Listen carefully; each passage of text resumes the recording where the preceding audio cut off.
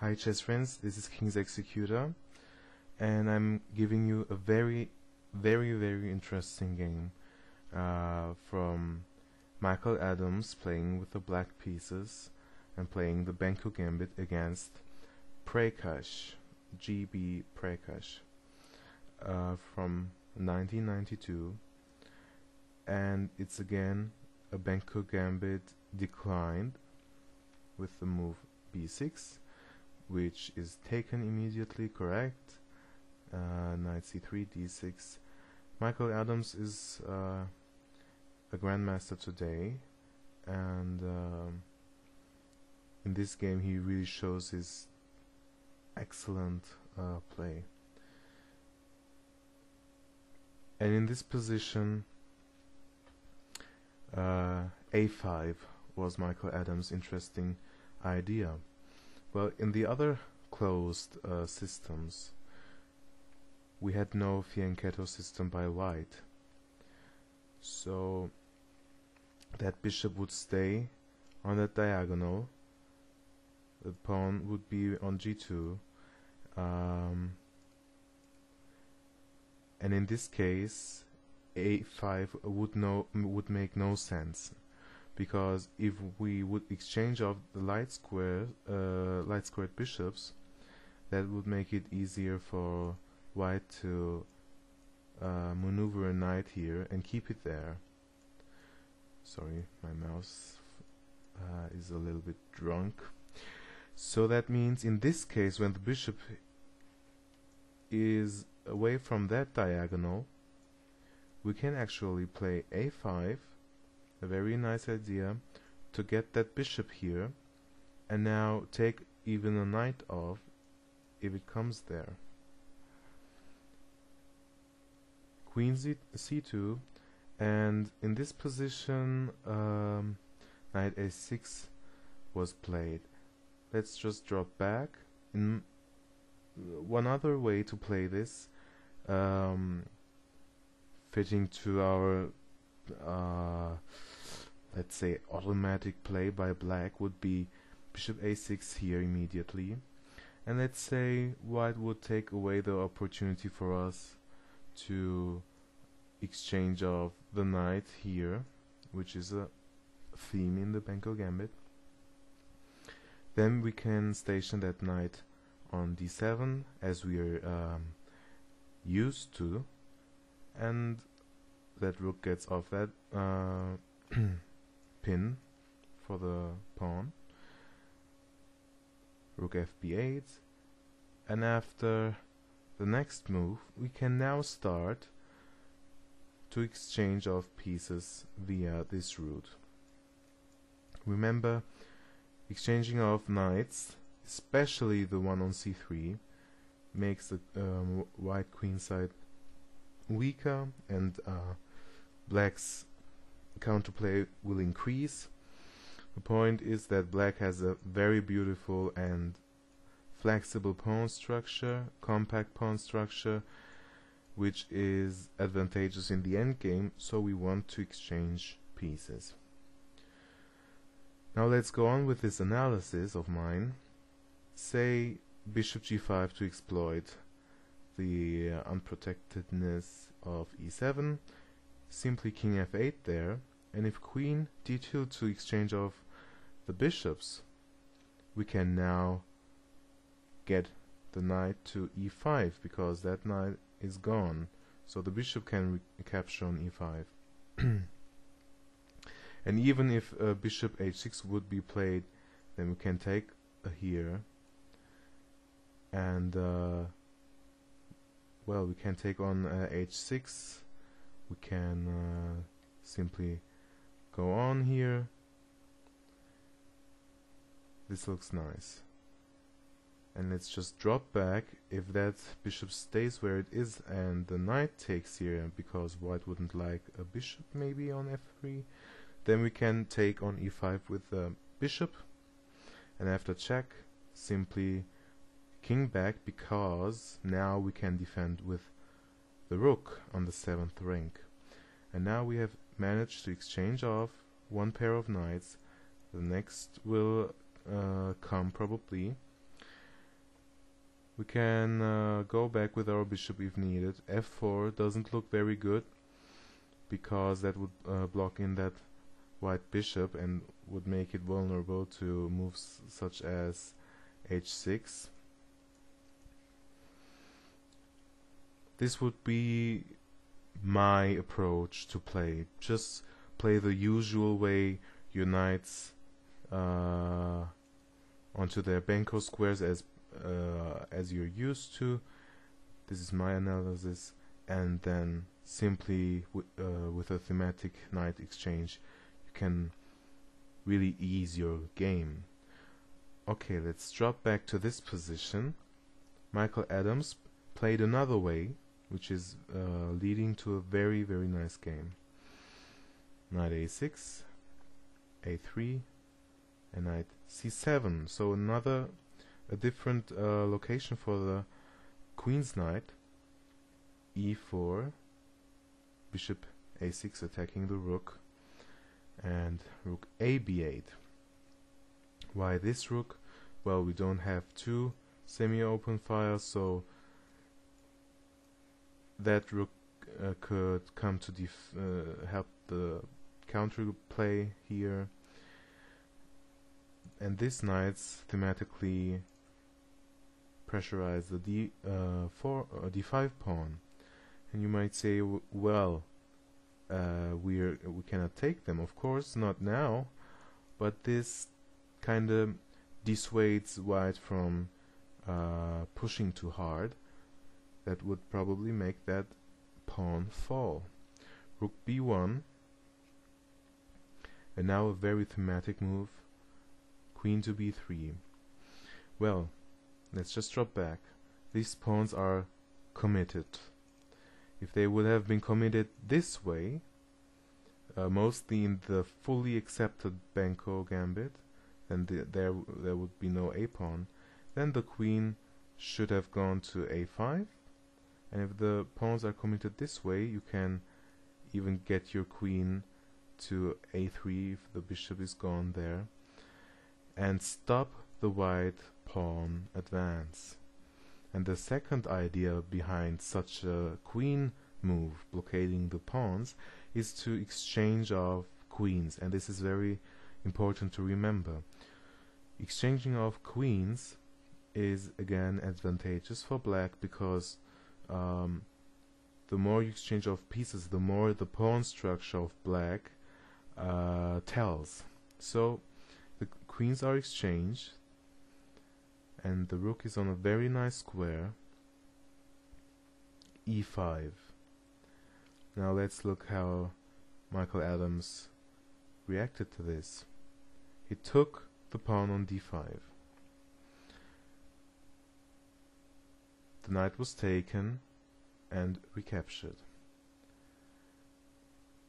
And now you see after knight to d2 black seems to be uh, under quite tactical pressure here. Rook d3 is the only move to have a reasonable position here and this is why uh, already uh, a few moves ago um, before black I think went to uh, exchange of queens here.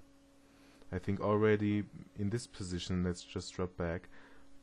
Michael Adams uh, probably calculated the 5 pawn push afterwards because that's necessary. You see that rook d3 is the only move here. Pawn takes and bishop f1 and it seems as though black uh, is not able to hold his uh, pieces. F5 well that seems like an exchange sacrifice for a pawn in the center having two uh, mobile pawns. But indeed this bishop is having a very nice diagonal and if the bishops are recaptured there are two bishops looking down this diagonal the second um, factor is that this uh, rook isn't in the game yet. And uh, this rook is coming to the game very uh, easily. And we have again the mobile pawns. So this is an absolutely equal position but not at all drawish. Knight f3 and rook b8 attacking the rook uh, attacking the pawn. The rook was taken and now you see the two bishops compensating uh, for the time being for the loss of the exchange and of course black is up a pawn. And he's got the initiative. And the very strong move in this position is c4 very thematic the c pawn in the Benko gambit uh, plays an important role in such uh, positional progress. Knight g5 was white's move to try to exchange off or to get that bishop on g7. Let's just drop back. I think rook d1 was a better try. You see, let's just drop back. C3 is black's threat. And if uh, afterwards black is threatening to uh, fork the pieces that means that the pawn must be recaptured. And this bishop here is forking the two rooks regaining the invested material having won a pawn so this is why knight g5 is played. But rook d1 uh, would stop c3 for the time being. And now let's pretend we take here and knight e1 and after knight c3 we exchange off material well in, th in this position it's very difficult for white to hold this. Rook b1 to attack the knight and if c3 that would be bad that would be losing the pawn after uh, rook c1 so knight to d3 king f1 these are almost only moves here for white. And uh, knight interferes with the rook attack and after king e2 king e6 king d1 is uh, one important move. And after king d5 the only move keeping white on the board would have been rook d8 and I think in this position to foresee this is practically impossible. So it's very difficult already for uh, white. Knight g5 and h6 inviting uh, white to take off that bishop but rook e8 pinning the knight. Unpinning and now we take the pawn. So you see that knight maneuver was an illusionary plan knight f4 takes takes takes takes. And now an exchange of pawns. And now you see with the bishop pair they coordinate really easily with the pawns.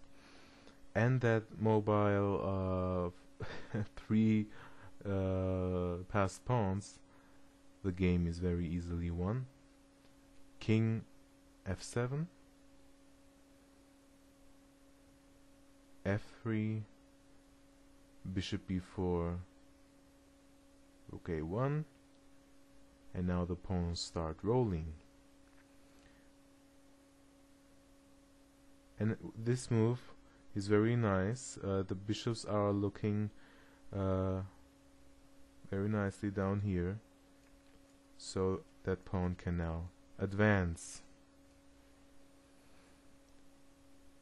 Bishop c7 and this is uh, taken out of the question and in this position GB Prakash resigned to Michael Adams. Let's just recap this game. we have the declined variation, in particular with white fianchettoing his bishop, which makes a difference. In this case, we can play a5, and after queen c2, you can choose to play the more complicated way, in my opinion, uh, like Michael Adams did, or my way, developing your knights to the most usual squares, and now uh, exchanging of a pair of knights thematically. This would look nice for me. Afterwards, you can exchange knights this way, and you can play as Michael Adams did, which is probably slightly more co complicated. Well, this knight on c7 doesn't have to stay there forever. Forever, maybe white wouldn't pu push e5, so you can even exchange the knights this way. e4. This is the game continuation, and now you see the thematic queen exchange, a very important move to make progress. And now this very nice tactical sequence of bishop f1 very coolly answered with f5 that keeps the knight out of uh, e4 so it cannot attack the very important central black pawns so knight f3 rook b8 takes takes and the very important move c4 knight g5 an illusion. And now black's pieces are unstoppable. Takes and in after trying to nab one pawn well that even wouldn't be necessary you could play d3 immediately but a4 says what are you doing here actually and Prakash resigned to Adams I hope you liked the game. Please comment, subscribe, and like the video if you did. See you next time.